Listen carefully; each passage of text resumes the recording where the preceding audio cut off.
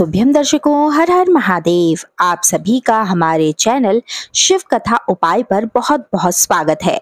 कैसे हैं आप सब? मैं आशा करती हूँ दर्शकों, आप सभी स्वस्थ और सुरक्षित होंगे। दर्शकों, आप सभी जानते हैं कि 18 अगस्त दिन शुक्रवार को सावन माह की सिंधारा दूज है। सिंधारा दूज के इस महासंयोग पर यदि आप देवादिदेव महादेव की कृपा चाहते हैं, अपने घर में माता लक्ष्मी को आमंत्रित करना चाहते हैं, आपके घर में धन की बहुत अधिक कमी है, धन प्राप्ति करना चाहते हैं तो इस एक छोटे से उपाय को आप अवश्य ही कर लीजिएगा। गुप्त रूप से आपको इस उपाय को करना है, अपने घर की दहलीज, अपने घर के मुख्य द्वार, अपने घर के मुख्य द्वार मेन दरवाजे पर आपको यह उपाय करना है।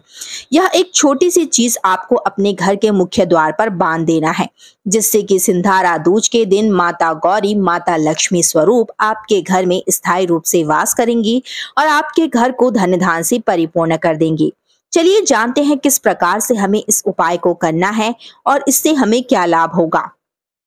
लेकिन उससे पहले दोस्तों, यदि आप हमारे चैनल पर नए हैं, पहली बार मेरी आवाज़ को सुन रहे हैं तो चैनल को तुरंत ही सब्सक्राइब कर लीजिए, बेल आइकन को प्रेस करके ऑल पर क्लिक कर दीजिए, जिससे कि हमारा जब भी कोई नया वीडियो आएगा तो उसका नोटिफिकेशन आपको सबसे पहले प्राप्त होगा और उस उपाय का लाभ आप सबसे पहले उठा पाएँगे। मित्रों, यदि आपको हमारे वीडियोस अच्छे लगते हैं, उपाय अच्छे लगते हैं। पूजनीय गुरु जी के द्वारा बताए गए श्री शिव महापुराण कथा में जो उपाय वह बताते हैं, उन्हें हम सरल भाषा में आपके समक्ष लेकर आते हैं, ताकि आप भी उन्हें उपायों को कर कर कर अपने जीवन की कामनाओं को पूर्ण कर सके। तो यदि आपको हमारे उपाय अच्छे लगते हैं तो हमारे वीडियोस को ज़्यादा से ज़्यादा अपने परिवार और दोस्तों के साथ शेयर करना ना भूलें।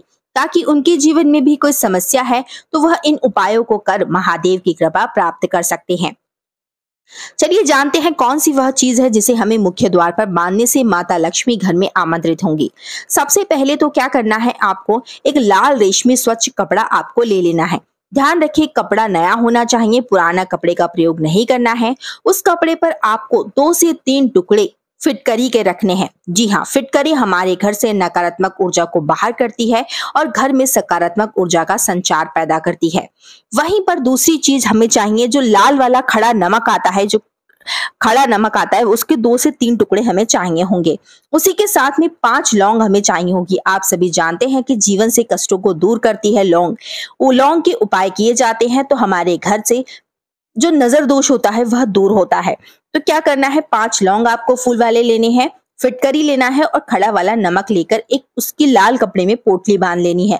माता लक्ष्मी का स्मरण कर, महादेव का स्मरण कर, उसे अपने घर के मुख्य द्वार पर जब आप अंदर आते हैं तो आपका जो सीधा हाथ होता है, वहाँ पर ऊपर की तरफ़ आपको बाँध देना है। ऐसा करने से माता लक्ष्मी स्थायी रूप से घर में वास करेंगी और पूरे साल आपके घर में अपार धन की वृद्धि होगी।